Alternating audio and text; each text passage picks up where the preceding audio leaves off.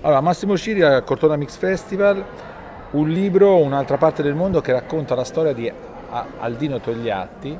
Ecco, intanto perché la scelta di raccontare questa storia e secondo lei questa vicenda umana così dolorosa, così lunga e così originale, cosa, può, cosa ci può insegnare?